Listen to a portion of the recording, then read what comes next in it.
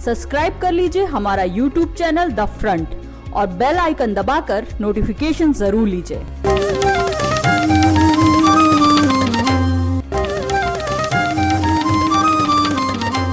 बात बोलेगी कि नए एपिसोड में आपका स्वागत है। आज हम चर्चा करेंगे गांधी की प्रिय और आज़ादी की लड़ाई की सबसे बड़ी महिला नेता सरोजनी नायडू की और सरोजनी नायडू से गांधी के रिश्तों की। सरोजनी नायडू कई मामलों में बहुत खास थी। सिर्फ़ यही नहीं कि वो इस दौर में जब गांधी का नेतृत्व आया, उस दौर में कांग्रेस की अध्यक्ष बनने वाली पहली महिला थी। उसके पहले एनी बेसेंट हुई थी कांग्रेस की अध्यक्ष। लेकिन सरोजनी नायडू कई मायनों में मुल्क को नेतृत्व देने की क्षमता रखती थीं और उन्होंने वो नेतृत्व दिया। उस दौर में जब औरतें घर से बाहर नहीं निकलती थीं, औरतों की पढ़ाई लिखाई काफ़ी कम थी, उस दौर में सरोजनी नायडू अपने ढंग से जीवन जीती थीं। बहुत स्वच्छंद स्वभाव था, बहुत ही मौज मस्ती से रहने वाली थीं, बहुत बड़े घर की नहीं थीं, सामान्य घर सामान्य ढंग से बड़ा घर था, लेकिन कोई राजा महाराजा वाला परिवार नहीं था। इसके बावजूद उनका जीवन राजा महाराजा वाला ही रहता था। और गांधी उनकी स्वच्छंदता की गांधी उनके आज़ादी की गांधी उनके स्वभाव की और गांधी उनके इस जीवन शैली की भी तारीफ़ करते थे। सरोजनी के खाने पीने उठने बैठने के बारे में बड़े किस्से हैं और गांधी उस पर मज़ाक भी करते थे मज़ा भी लेते थे। जैसे सरोजनी नायडू ने उन्हीं को कहा कि नहीं आठ बजे के पहले तो मैं उठ नहीं सकती। उस ज़माने में आठ बजे उठना अपने आप में बहुत अ, बुरा माना जाता था। फिर उन्होंने पूछा, तुम्हारे बच्चे कैसे तैयार होते हैं? तो कहा, बच्चे तो अपना तैयार वैयार होकर स्कूल चले जाते हैं, फिर मैं उठती हूँ।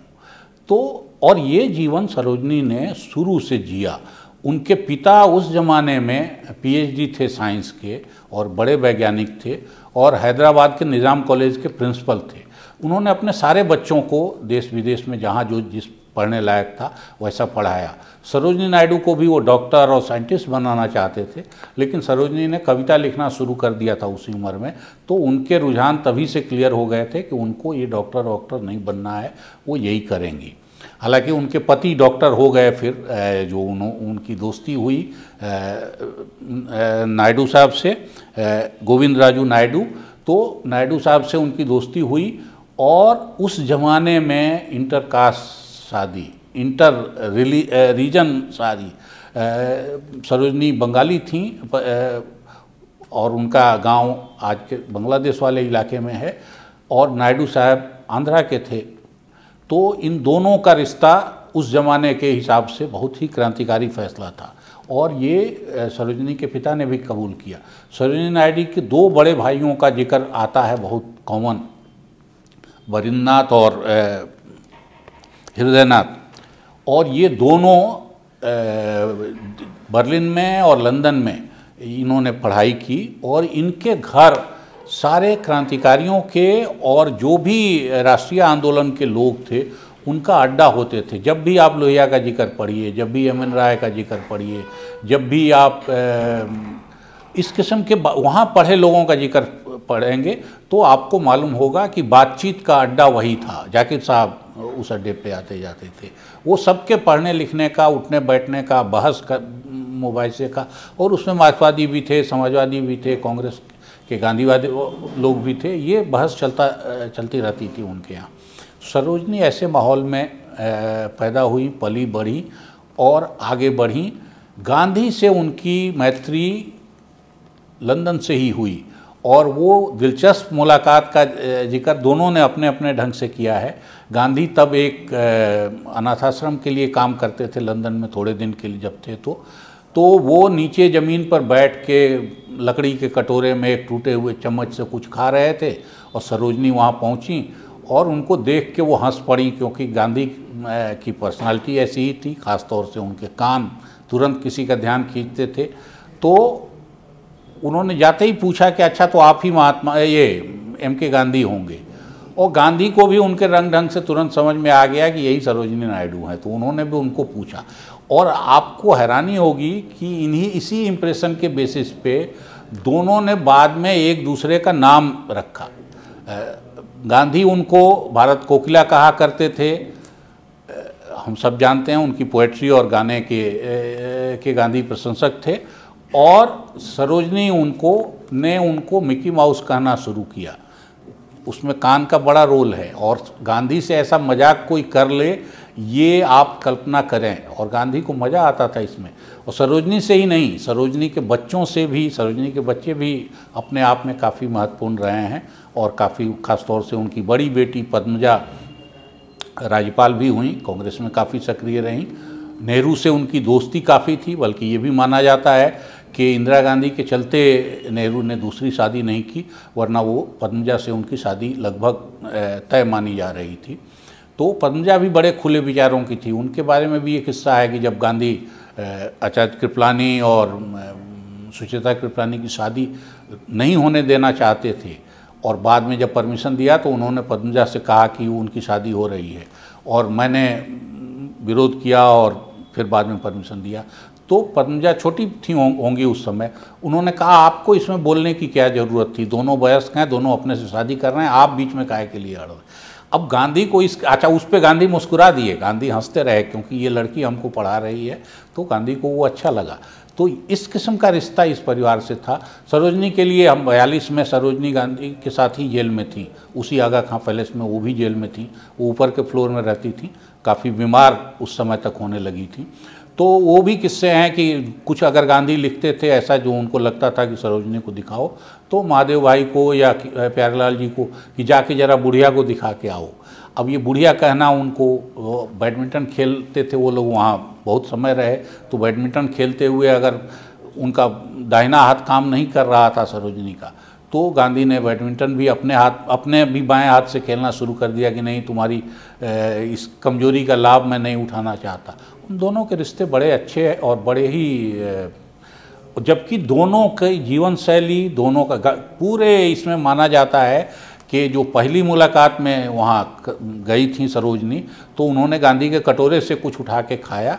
उसके बाद आश्रम का भोजन सिर्फ़ एक बार किया, इतने लंबे कॉन्ट्रैक्ट में। जब करीब तीस साल से ज़्यादा समय, पैंतीस साल ये कॉन्ट्रैक्ट रहा, दोनों का संबंध रहा। इसमें आश्रम का भोजन सरोजनी ने सिर्फ़ एक बार किया, उसके बाद से वो आश्रम का भोजन नहीं करती थी, क्योंकि उतना सादा खाना वो खा ही नहीं सकती थी और गांधी को इस बात से कोई कभी आपत्ति नहीं हुई और न उनके संबंधों में इससे कोई फ़र्क।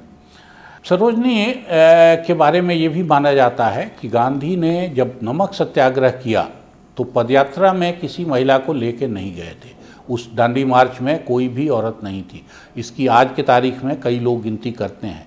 लेकिन जब उन्होंने धरसाना में उसी सत्याग्रह का एक्सटेंशन किया धरसाना नमक गोदाम पे हमला कराया सत्याग्रहियों से कि वहाँ का नमक लूटेंगे तो उस आंदोलन का नेतृत्व सरोजनी ने किया था। और हम सब जानते हैं कि धरसाना में ही जो कांग्रेसी कार्यकर्ताओं की पिटाई हुई थी, सबसे बुरी तरह जिसका ज़िक्र एक अमेरिकी पत्रकार ने अपने अखबार में किया और फिर उससे अंग्रेज़ी हुकूमत की बड़ी थूथू हुई और कांग्रेसी कार्यकर्ताओं के अहिंसक व्यवहार की दुनिया भर में तारीफ़ हुई। ये दृश्य तब क्या होगा, ये तो कल्पना की जा सकती है, लेकिन बाद में सर एटन एटनबरो ने जो फ़िल्म बनाई गांधी, उसमें इस दृश्य को जिस तरह से पिक्चराइज किया गया था, जिस किसी ने भी उसको देखा होगा या देखा उसके दिल पे आज भी वो दृश्य बहुत छाप छोड़े हुए है। उस आंदोलन का नेतृत्व सरोजनी ने किया था। सरोजनी के बारे में गांधी गांधी उनको दूसरे गोल मेज कॉन्फ्रेंस में भी लेके गए थे। दूसरे गोल मेज कॉन्फ्रेंस में उन्होंने हिस्सा लिया। गांधी उनके बिंदास जीवन शैली के प्रशंसक भी थे। अंदर अंदर उसकी प्रशंसा भी करते थे। और मानते थे कि भाषण, भोजन और भ्रमण के बिना ये महिला चैन से नहीं रह सकती। इसके स्वभाव में ये है, इसको रोका नहीं जा सकता। सरोजनी के कपड़े लत्ते, पहनावा उड़ावा सब चीज़ों के बारे में गांधी ये मानते थे कि ये शाही शैली है और ये गांधी से बहुत ज़्यादा मेल नहीं खाती, आंदोलन के इससे मेल नहीं खाती।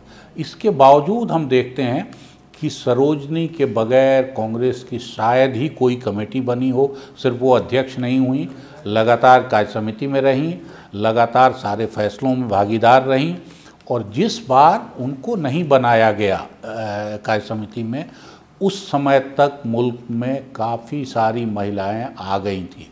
जब नेहरू ने अपनी कमेटी में उनको नहीं लिया अध्यक्ष बनने के बाद तो उस समय तक मृदुला सारा भाई से ले मृदुला सारा भाई से लेके और कई महिलाएँ इस पोजीशन में आ गई थी जो ये काम संभाल लेती।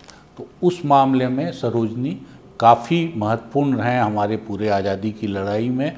औरतों की भागीदारी के हिसाब से उनकी पोएट्री की चर्चा अलग है।